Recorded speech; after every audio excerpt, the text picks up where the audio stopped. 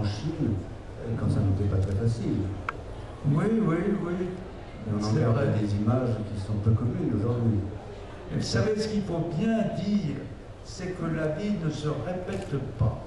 On ne peut pas refaire un voyage comme je le faisais il y a 30 ans ou 40 ans.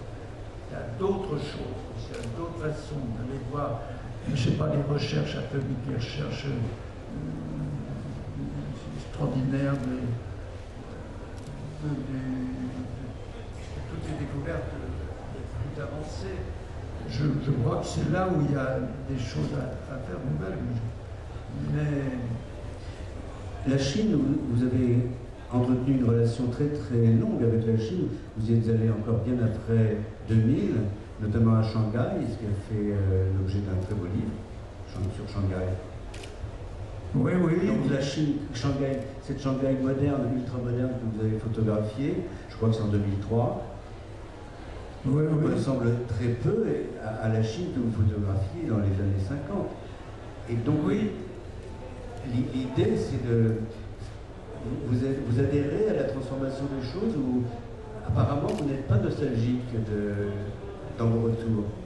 Non, mais vous savez, justement, c'est bien que vous parlez pas la même chose. La mode, ça compte, et la, la mode, c'est une très belle chose. Regardez les pays qui n'ont pas eu de mode, c'est vraiment pas marrant et pas bien.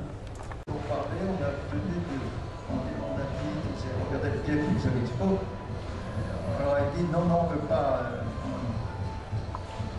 Et moi j'ai pensé, j'ai dit une photo de moins ou de plus, personne sur 120, personne Après avoir passé, je dis, a plus incroyable, le bâton de chaise, comme on dit, elle a décidé de devenir rabbin.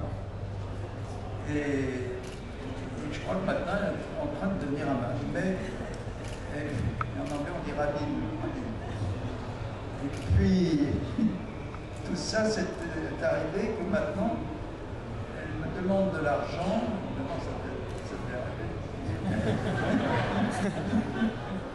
Ça et, et, Alors, moi je me dis, écoute, en ce moment, j'en ai pas. J'ai des enfants, mes enfants passent à bas. Et quatre enfants, un grand, un puis, euh, je crois que je t'ai beaucoup aidé.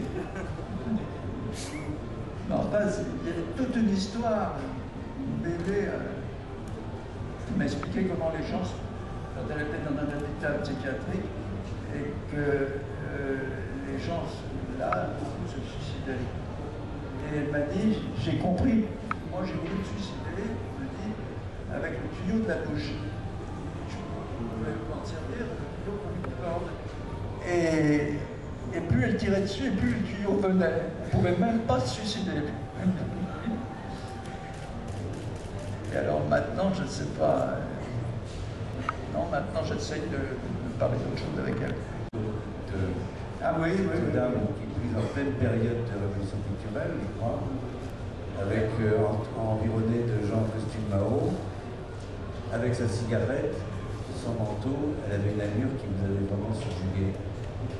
C'est la collerette de la collerette de, de, fourrure. Parce que à ce moment-là, la mode, on n'employait pas le mot, était absolument unique. C'était la casquette Mao. On ne sortait pas sans casquette Mao, la même couleur, même forme, ça. Et puis, euh, les femmes étaient habillées en hommes. Il ne devait pas y avoir de supériorité des hommes ou des femmes, c'était le même pantalon bleu euh, mais il ne faut pas non plus, moi je n'aurais pas ce régime-là, mais, mais ça venait après un régime d'incroyable loi pour les riches, pour les, ceux qui étaient bien nés, tout ça.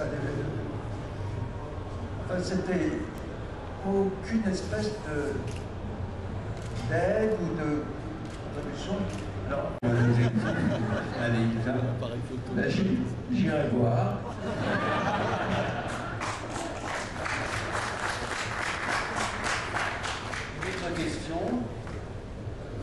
Que celle-là.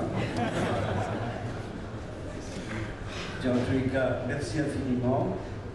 Nous ne nous quittons pas tout de suite parce que vous pouvez encore parler, mais je rappelle à tout le monde que Marc se prêtera à une séance de signature, juste un petit espace qui est à la sortie de cette porte-là. Un dernier mot, peut-être Oui, la, la timidité a gagné. Un peu. Non, mais c'est vrai, j'espère pour. À bientôt.